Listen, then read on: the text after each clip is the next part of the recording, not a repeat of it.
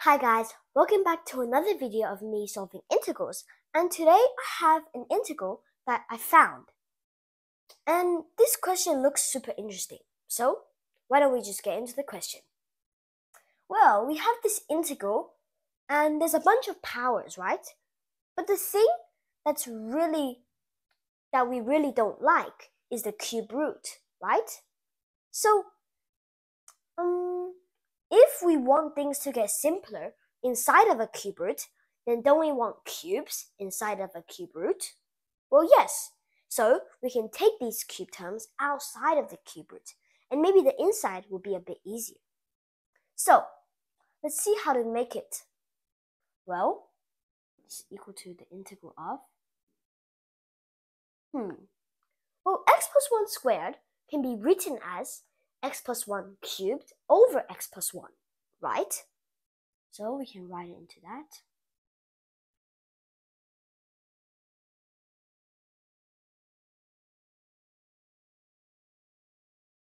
And then x minus 1 to the power 4 already includes a x minus 1 to the power 3.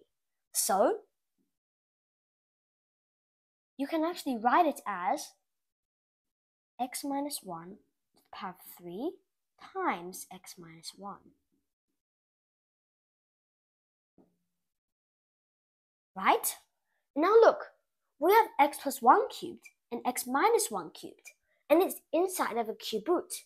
So we can take the terms outside of the cube root, and then it'll become x plus 1 times x minus 1, which is x squared minus 1. So, this is equal to integral of. Outside would be x squared minus 1.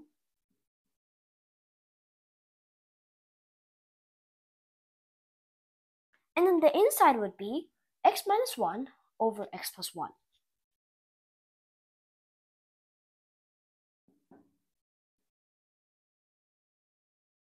Well, now we're going to do a super weird t sub, okay? And I'm not talking about Weierstrass formula. I'm just talking about U sub, but I'm using t. Well, I'm going to let t be equal to the cube root of x minus 1 over x plus 1. Well, why? Well, I'm going to show you because the dt is actually super simple. Well, what do we do now? We can't really express x in terms of t, can we? Well, the thing that's annoying us is the cube root again.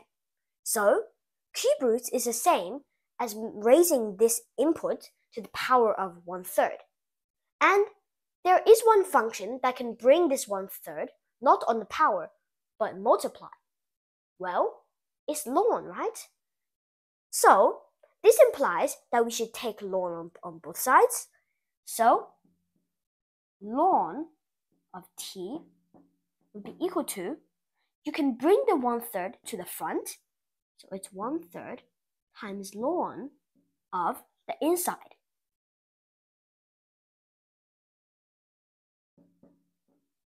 And now it's way easier to differentiate. So why don't we use, so why don't we differentiate it?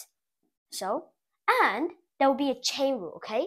So it's not only 1 over t, it will also be times the derivative of t, which is dt over dx. And this is equal to one third times, well, the derivative of a ln is the reciprocal. So it would be the bottom is now x minus 1 and the top is x plus 1 times the chain rule, the derivative of this inside, which is you use the quotient rule, so it is x plus 1 squared. And then remember, it's the derivative of the top first, and then we subtract with the derivative of the bottom. Well, not completely. So, quotient rule says we take the derivative of the top, which is 1, multiplied by the bottom, which is x plus 1. So, it's just x plus 1 minus the derivative of the bottom times the top which is x minus 1. Okay, well, Let's see. Look, there's a cancel. Very nice. Well, let's look at the top. x and x cancel, but 1 and 1 creates a 2.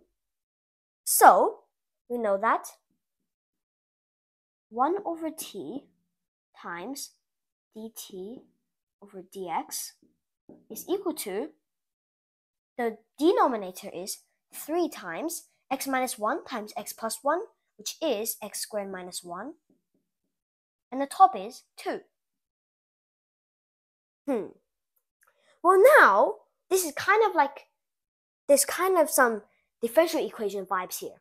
So we can multiply the dx to that side, and we can bring this 2 over 3 to this side. So, we know that this on the left hand side will become the reciprocal of it now. So it will be 3 over 2 times this dt. And this is equal to, you we already multiplied the dx to that side, so it's 1 over x squared minus 1 dx. Very nice. Now look, in our original integral, we see we have 1 over x squared minus 1 dx, which is that. So 1 over x squared minus 1 dx is just equal to this. So the integral becomes the integral of, like I said before, this, this, this is just this. So 3 over 2t. And then this is the t dt, right? I told you it would be super simple. So this is equal to, if you take out the 3 over 2 outside of the integral in your head, then you'll know that the integral of 1 over t squared is negative 1 over t. So the answer will be negative 2t on the bottom and 3 on the top. And now we can plug back in t. So, and t is equal to the cube root of x minus 1 over x plus 1.